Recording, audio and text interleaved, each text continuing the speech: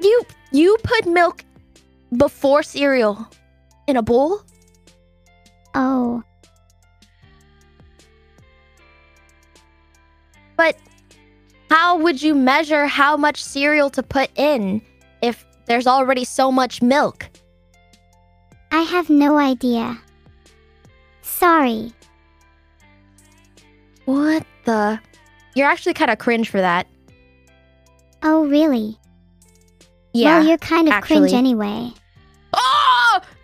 Okay, well, you're you're you're a cringer. Who drinks that much milk in a bowl of cereal? I don't drink that much milk. And why would you pour it before the cereal? Because I'm a genius. Okay, Wink. right. I I have no idea how she's getting away with that.